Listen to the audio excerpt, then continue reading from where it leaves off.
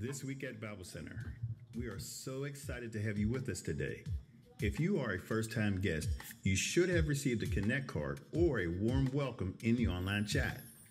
Please fill out the connection card and leave it with one of our ushers as you exit, or review the connection information on our website, BibleCenterPGH.org.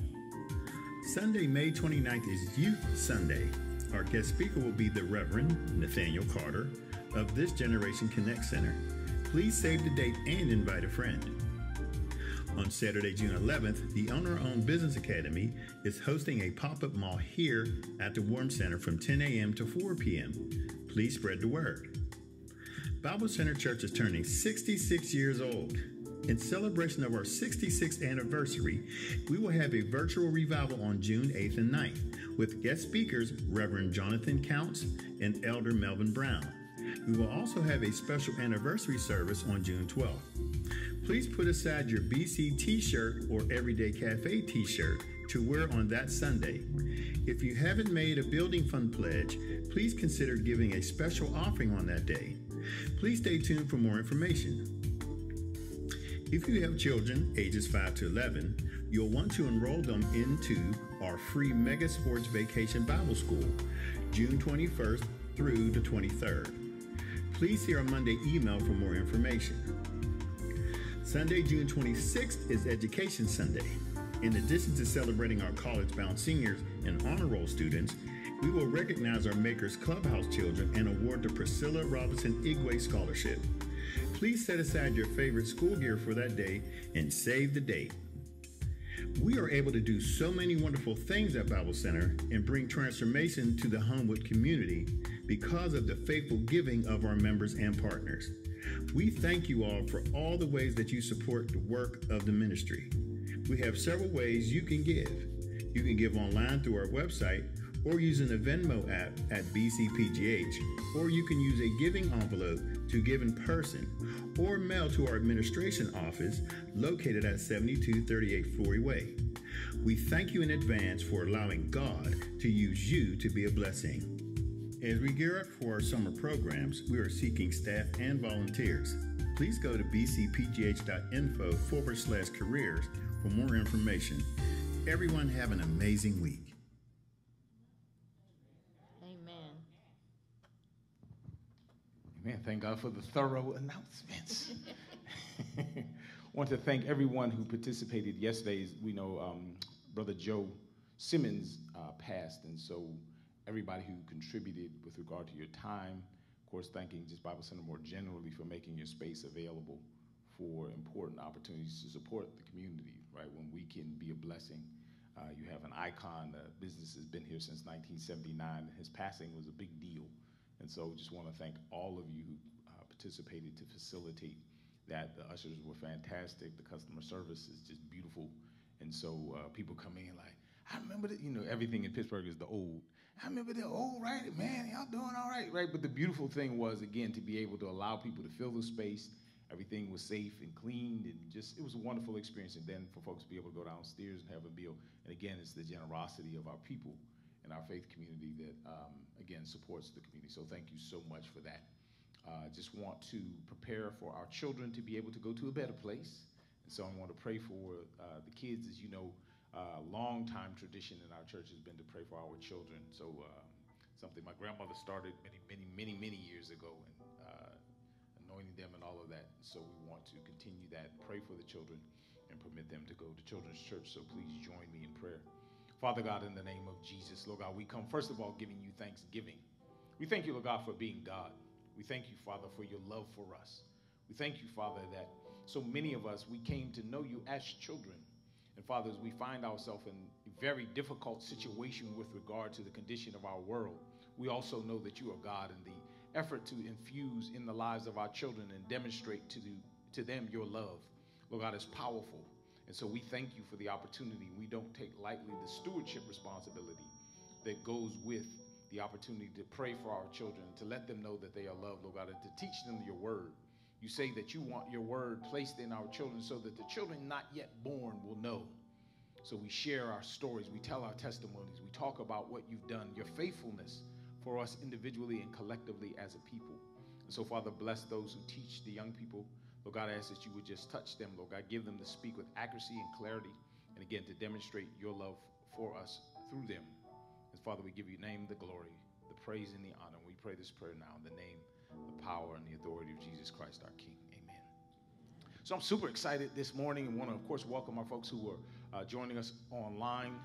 Glad that you're here with us. And of course, those of you who are here in person, if you're a guest today, we hope you've been made to feel welcome.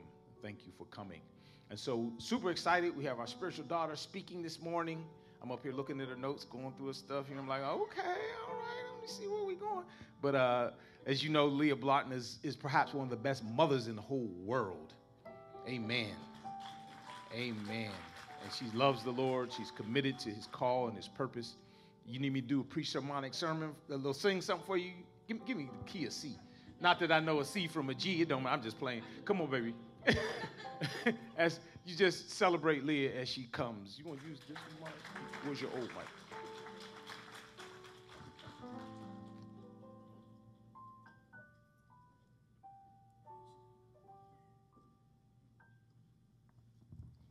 You all for coming. Uh, first, I just want to thank our pastors, Pastor John and Cynthia Wallace. They do so much great things for not just us as a church, but for our community. So, can we all just give our pastors a round of applause? They do so much. They work tirelessly and effortlessly. And I don't know what was going on with Pastor, but he trusts me today, right? so, let's see. Um, Right, right. He said, don't mess up. but today we are going to be talking about faith that moved mountains. So let's pray. God, I thank you. I thank you for giving me the opportunity to be able to declare your message to your people. God, I thank you for being God. I thank you that you allow all of us to wake up this morning and have breath in our mouths, God, that we are able to sit here. We are all able to walk into this building this morning. So I thank you, God. God, I ask that you will continue to be with us, that you will continue to strengthen us. God, that you will allow the words of my mouth and the meditation of my heart to be acceptable in your sight today. God, I ask that you will reveal yourself and allow yourself to be true through your word. God, that you will strengthen us in faith and give us all the faith that will move mountains. In Jesus' name, amen. So, one of the uh, scriptures that a lot of people use when they talk about faith that move mountains is the scripture in Matthew 17 and 20. In this, around this time, it was when the disciples were asking Jesus, like, hey, why were you able to cast out these demons and I could not, right? And Jesus is like, you have such little faith, right?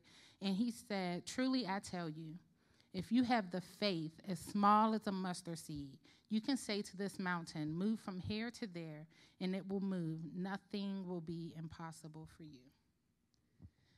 So when I went through today's lesson, this started out as one of the easiest message messages I would have ever had to deliver and write. And as I started to go further, this ended up, like Brother Tony said last week, one of the hardest messages I would have ever had to deliver. When Pastor first gave me a call and he said, Would you speak on um, Sunday? Immediately, without thinking twice, I said, Yes, absolutely. what you all don't know is years ago, God told me that I would be speaking and sharing the gospel. And um, I was, I didn't even have to think about it because I knew that's what I was called to do.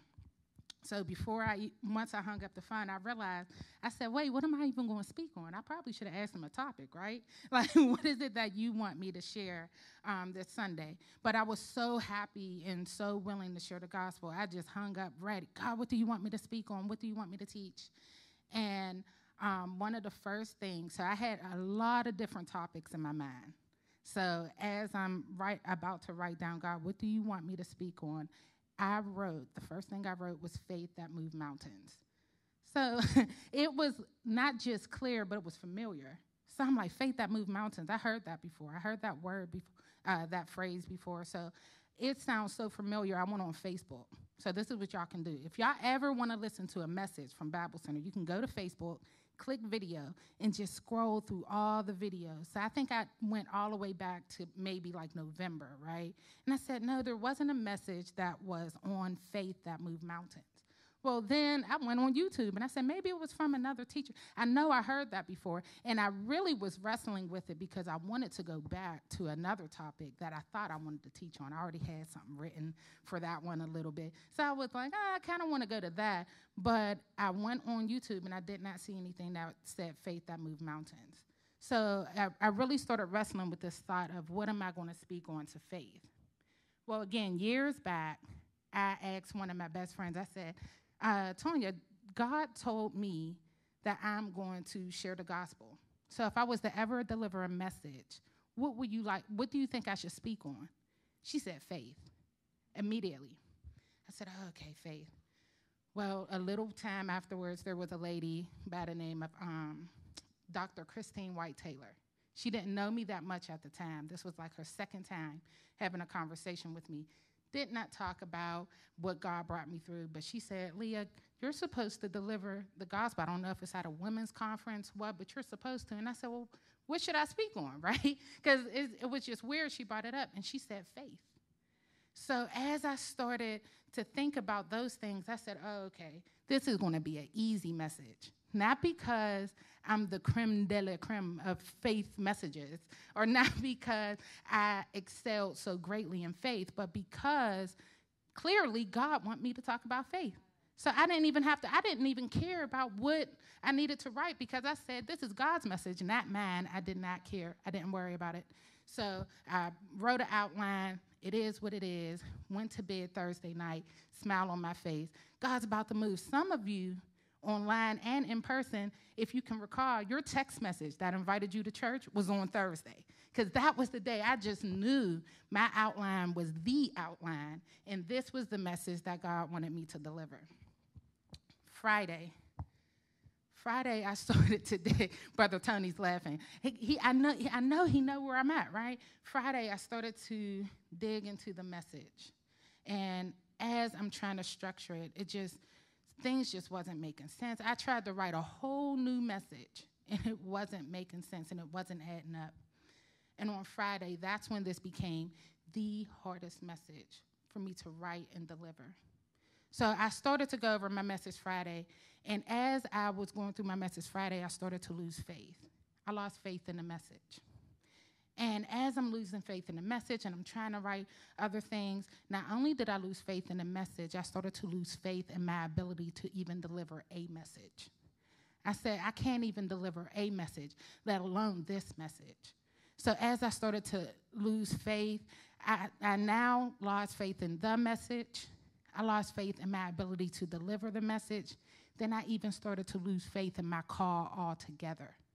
I said, Did God even call me to do this? I'm in over my head. Who do I think that I am? Paul knew exactly what he was talking about when he told the women to be silent. Are you kidding me right now? I had the nerve to stand up here and think I'm about to deliver a message. God didn't call me to do this.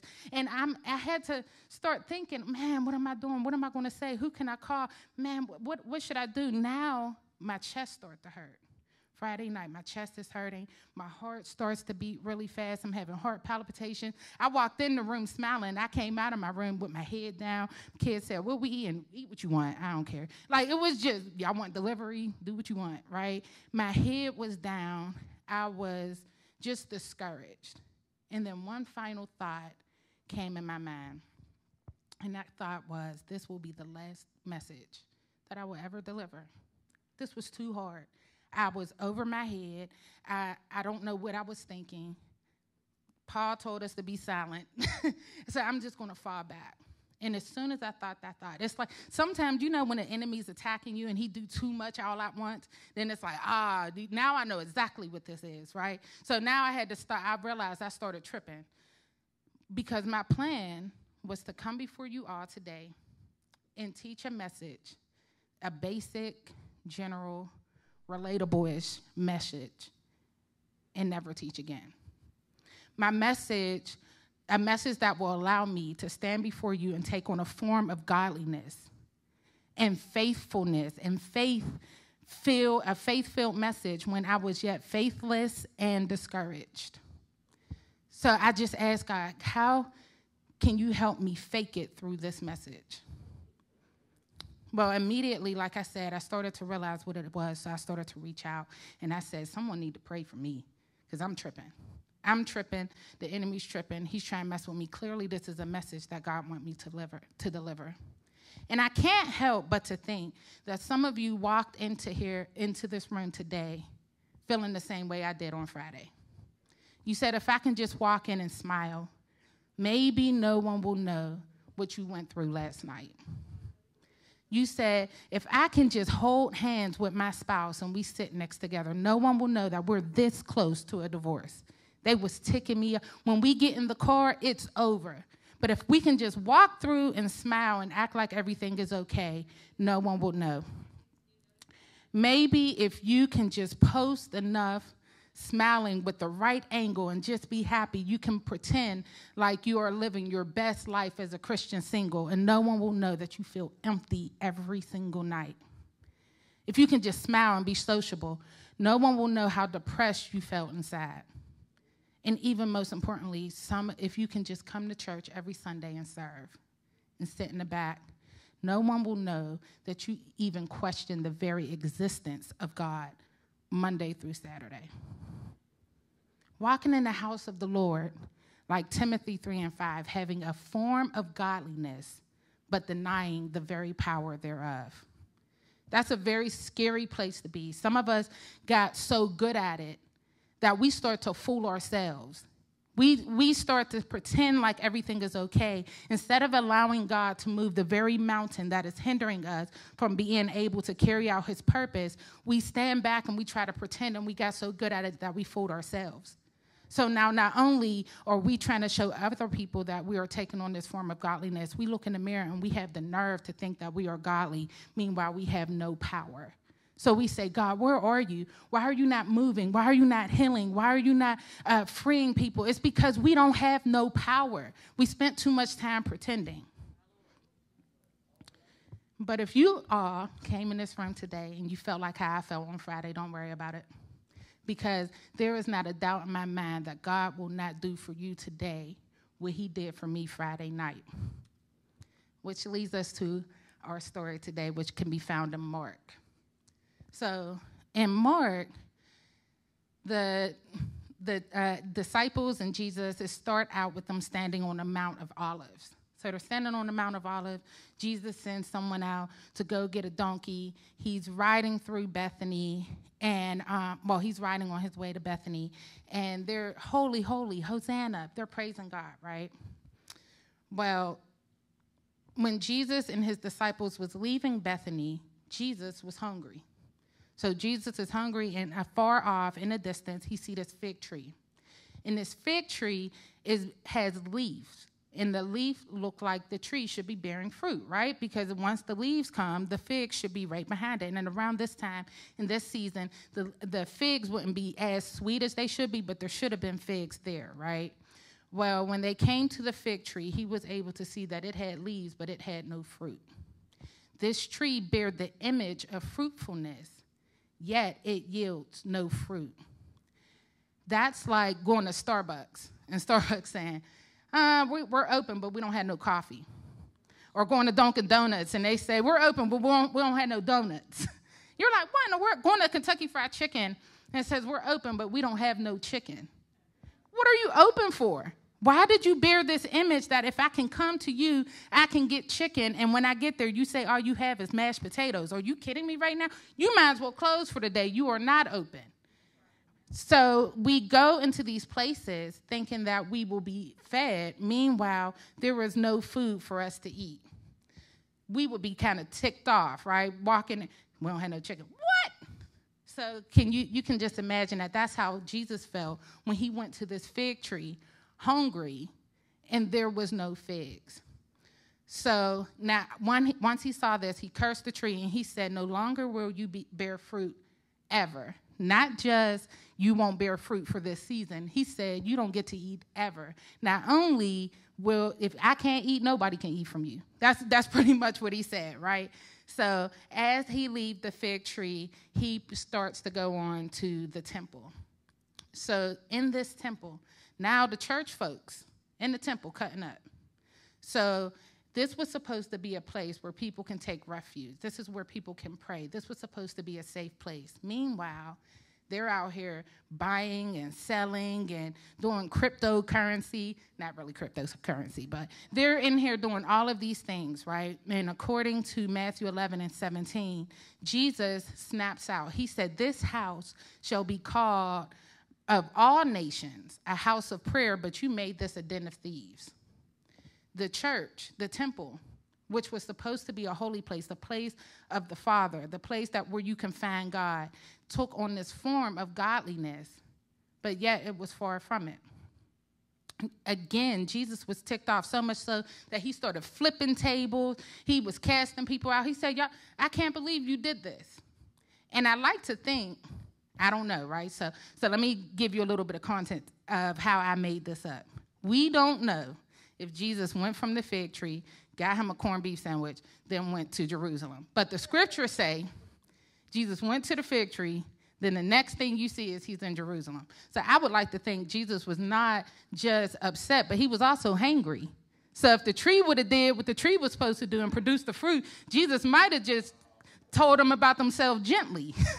but now he's he hangry and y'all y'all flipping out now you flipping tables. Or you you got to be kidding me right now right? But it all it shows how we all play a part. It starts sometimes you're like i'm just a usher.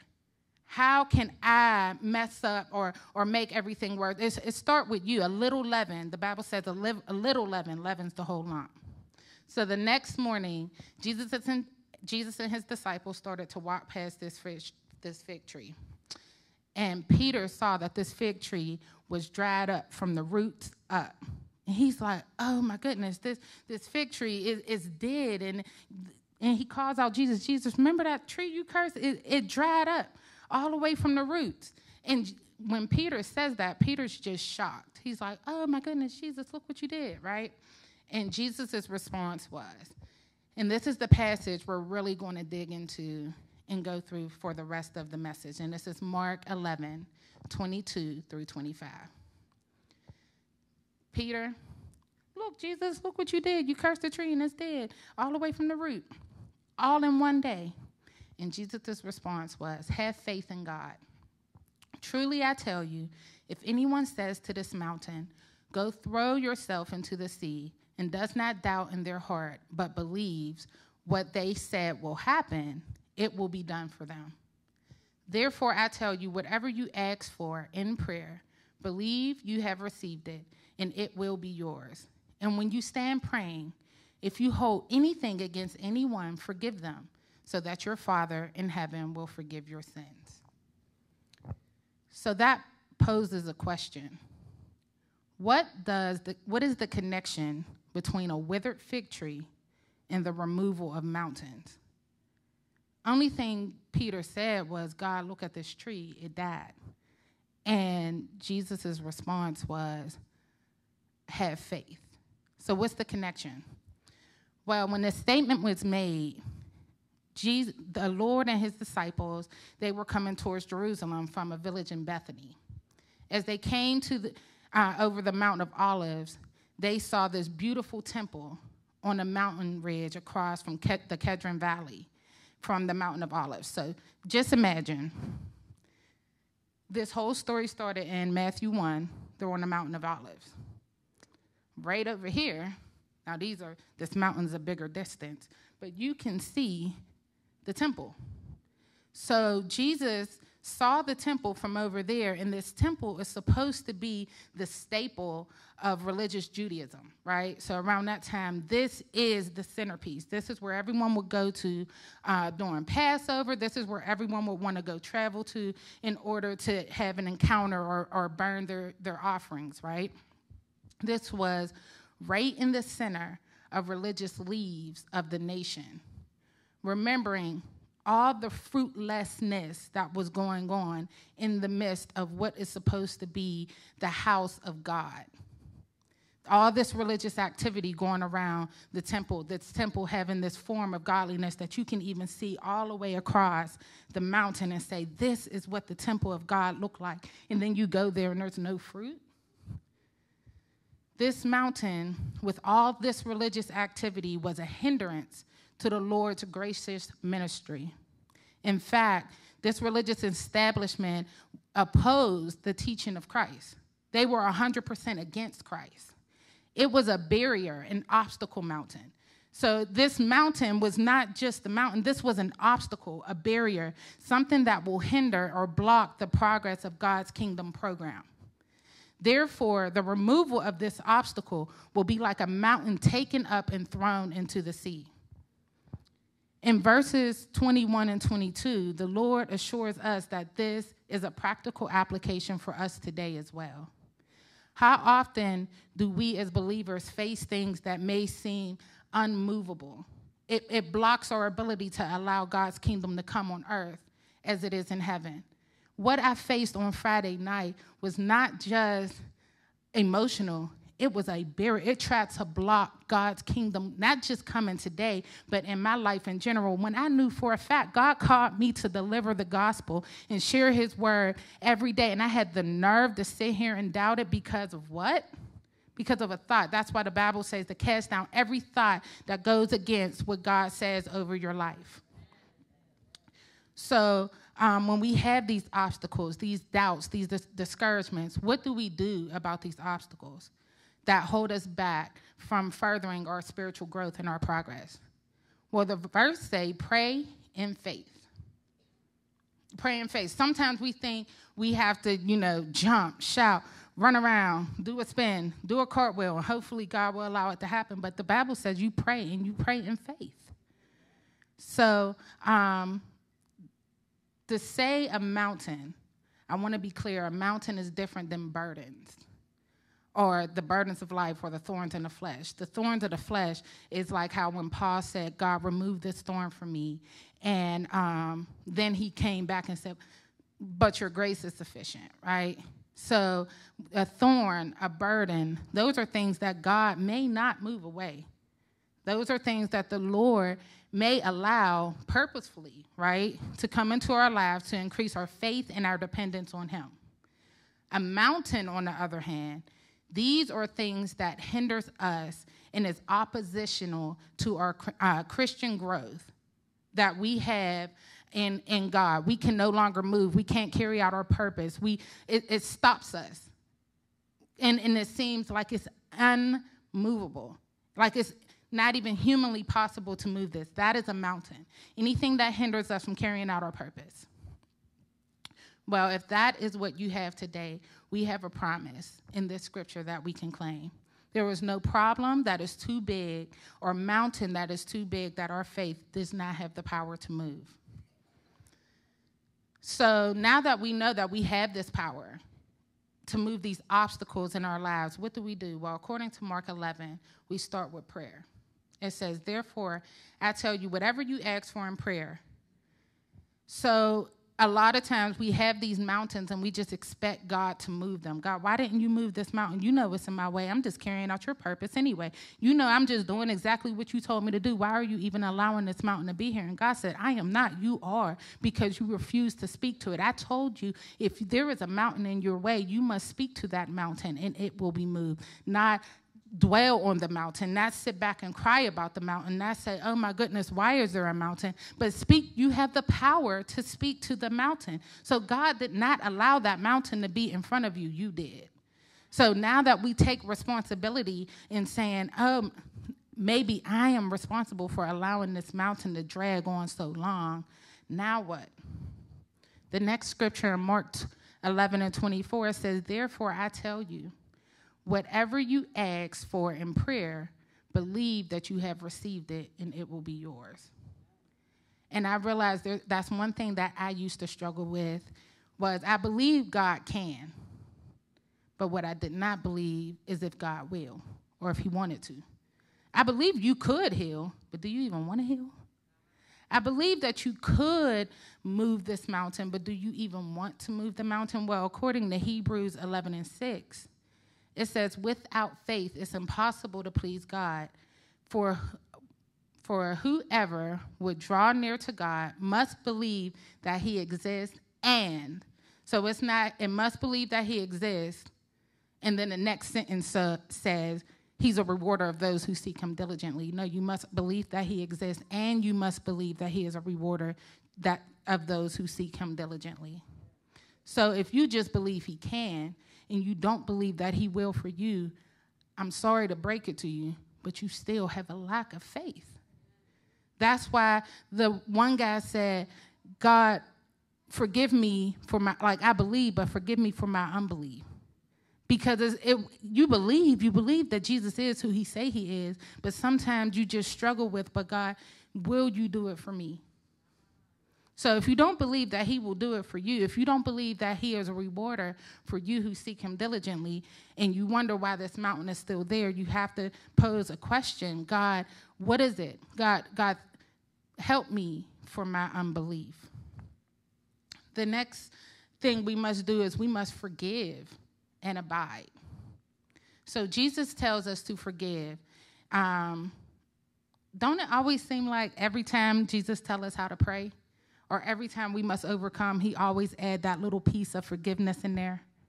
Like it's always uh, for God. So how should we? When the disciples said, "How should we pray?" He said, uh, "For God so loved the world that He gave His only begotten." I mean, no, that wasn't the prayer. What's the Lord's prayer? Our Father. Come on now, I should have wrote that down. Our Father. I thought I knew it. So that was me who art in heaven, holy is your name. Your kingdom come, your will be done on earth as it is in heaven. Lord, give us this day our daily bread and forgive us our trespasses as we forgive those who trespass against us. God always add that piece of forgiveness. So even though it may be hard, even though sometimes you're, you've been in situations that may seem like this person or this thing is unforgivable, one thing you should hold in the back of your mind is me not forgiving them, am I willing to allow it to hinder me from being able to move my mountain? Is this something that's that important? Would I allow this thing or this person or this activity to hold me back from being able to do the very thing that God called me to do? So now you hurt me in my past, and I'm going to allow you to hurt me in my future too? Mm-mm. Mm-mm. We must forgive. And last, um, we need to abide and wait. Wait. So, waiting is like one of those words that I don't like. I'm someone I like to see things like up front. Here's an example Who all know microwaves are not healthy? Just raise hand. Microwaves are not healthy. Out of everyone who raised their hands that says microwaves are not healthy, who uses it anyway? Right, because it's faster. Who wants to take, we don't have the time to put it in the oven and wait. We're just going to use our microwave because we, we are able to get our food faster. We do not like to wait. Our nature is to want things immediately. So waiting, it takes this, this practice and this skill and this muscle building that we have to do to be able to wait. So when the Bible tells us to wait, sometimes we think the Bible is telling us to just sit back and wait. We prayed, we believed, we did what God told us to do, and we go on and sit down, right? But that's not what the Bible's saying. The Hebrew word for wait in Scripture is kavah. When God instructs Israel to wait, he uses the word kavah. The word kavah appears in Scripture more than a hundred times. It appears more than the word salvation and deliverance. Kavah. Kavah means to actively wait with anticipation, hopefully watching for God to act. So when the Bible says kavah on the Lord, the Bible is saying actively Continue to uh, share the gospel. Continue to do what God called you to do. And in your waiting, make sure you praise Him because you're waiting now, just sitting back like, God, you going to do it yet? Now you're praising God daily. God, thank you for this mountain that will be moved because I know you're going to move it. That's the difference between people who just said a prayer and people who know for a fact that God's going to follow through with their prayer. I'm not just going to sit back and say, God, can you move this mountain? Man, I sure, let me call somebody else. Maybe they can pray for me too and help this mountain to be moved. No, God, can you move this mountain? And I know that you are a rewarder of me because I seek you diligently. So I thank you, God, that this mountain will no longer overcome my situation or my life. I thank you, God, because this mountain will no longer stop the progression of your will being done in my life. I thank you, God, that my children will be a blessing. I thank you, God, for the call that you have on Richard's life as a minister. I thank you, God. I thank you, God, no matter what it looks like, no matter what the culture is saying, no matter what people um, are, are doing around me, that it will not affect me because I know that when I pray every single morning that you will cover both me and my children, that we will be all right. Thank you, God. The most popular phrase or scripture that we read with the word kavah is Isaiah 40 and 31. It says, Those who kavah upon the Lord will renew their strength. They will mount up on wings like eagles. They will run and not grow weary. So that scripture is not saying, again, we, we read it and we sing songs about it and we say, those who wait. So we prayed and now we just throw it away. We prayed and we're not thinking about it no more. Mm-mm. It says, those who kavah on the Lord. So I'm going to read it the way that the definition says. Those who actively wait with anticipation, hopefully watching for God to act, will renew their strength.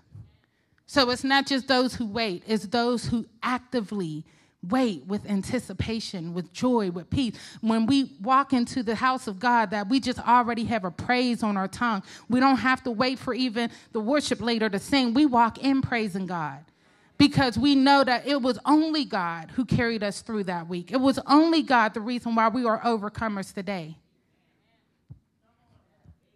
It says, Those who kavah on the Lord will renew their strength. Uh, kavah, the, the other definition, also means to abide.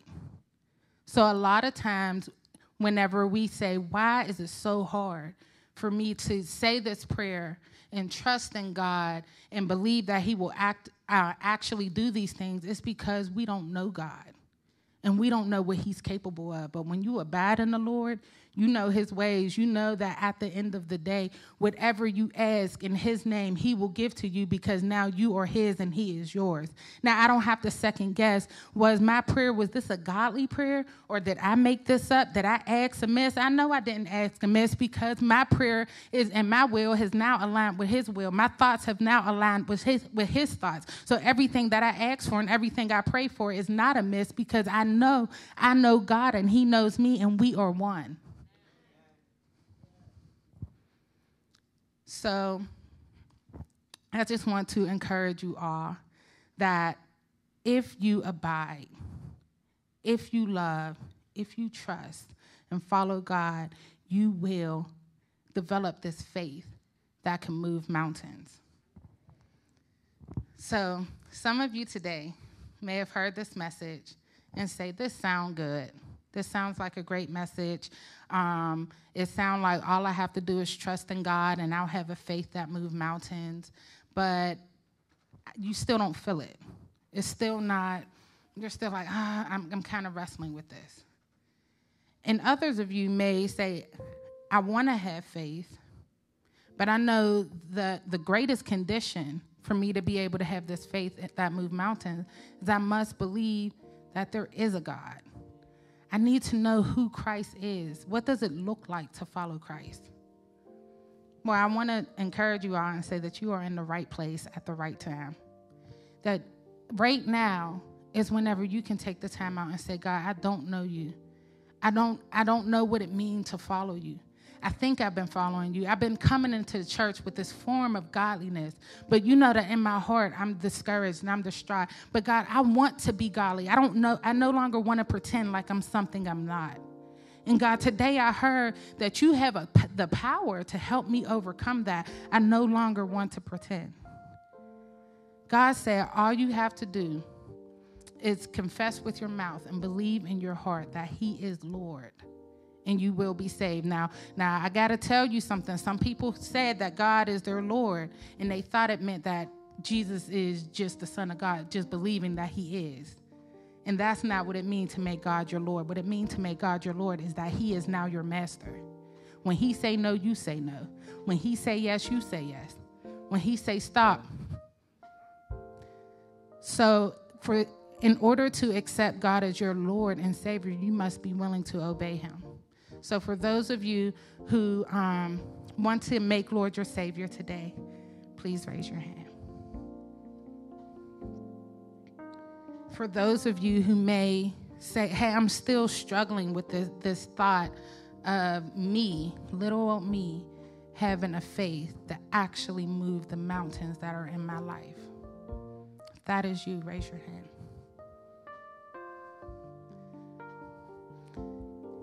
Can our um, prayer partners, if you can keep your hand up just a little bit. Those of you who are a prayer partner, can you walk over to those who have their hand raised and pray with them?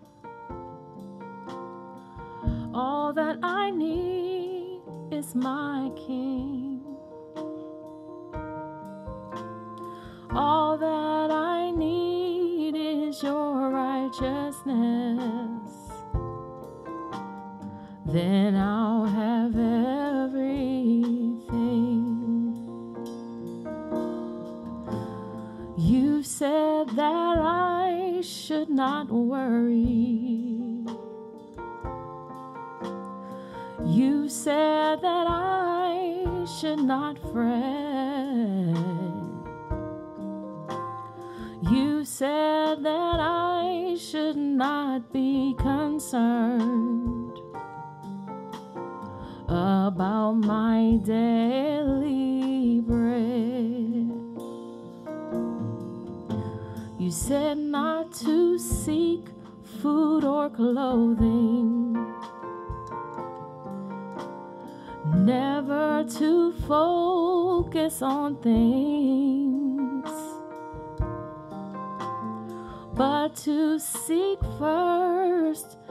kingdom of God and believe what you said. God, I thank you for your word. I thank you for your strength. I thank you for everything that you have equipped us to be able to overcome any obstacle, any stronghold, anything that is hindering us and those around us, God. I pray that you will just continue to reveal yourself to be true in our lives, God. God, that we will be able to stand firm as believers and say that we know without a shadow of a doubt that we serve a God who not just sit high and look low, but a God that is present in our lives each and every day, God. God, I pray for um, everyone who may even want to abide, but but don't know if they can find the time or don't even know what it looked like. God, I pray that you will reveal yourself to each and every one of us. I pray that your strength and your truth will arise over anything or any thought that will hinder us from believing that you are who you say you are. I thank you, God, for your faith. I thank you that everything that we stand in need of, God, we already have. I thank you for the victory. In Jesus' name I pray. Amen. Please welcome our pastor.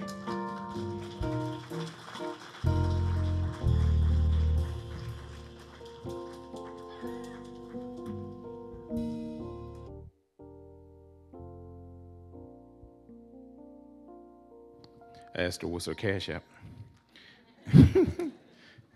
Let's stand and be dismissed. May God bless you and keep you. May his face shine upon you. And may you be blessed this week as we utilize the faith and the power that God has placed within us to be able to move our mountains and to advance his kingdom. God bless you. Turn to the person on your left and your right. Tell them my pastor loves me. God bless you. Have a great week.